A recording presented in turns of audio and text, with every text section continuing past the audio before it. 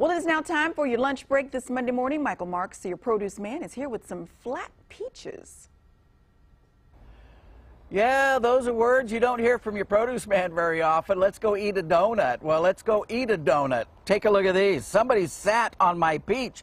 Here's a regular peach. Somebody sat on it turn it into a donut peach. Uh, actually, the name came from uh, the same folks who gave us the kiwi fruit, Frieda Caplan.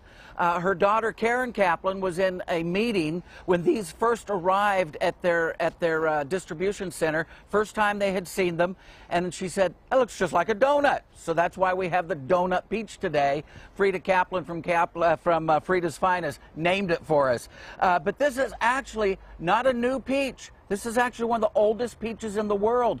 Uh, to the great Khans of China and to the great dynasties in China, this was known as the pinto peach. Pinto is a Chinese word for saucer or plate. Kind of looks like a saucer. Uh, sometimes you find it marketed as a Saturn peach.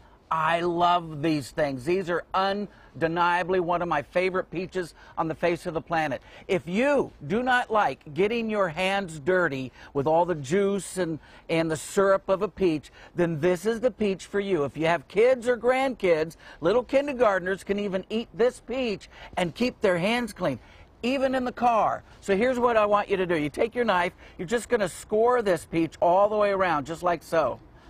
Very. Don't let the kids do that. You do that. Now you can just take that peach and just twist it right off. Now look at this. Your fingers are touching the skin of the peach, and you're not going to be getting all of that juice and syrup all over your uh, all over your hands. And by the way, this is a white flesh peach. Most of them are all white flesh peaches, which means they have a lower acid, which means they taste sweeter.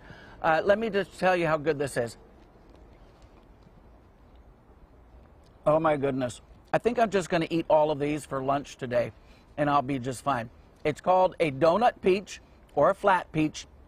Go out and have a donut. I give you permission. Back to you guys. Michael said it. We can have a donut Yeah. in the form of peach. Yeah.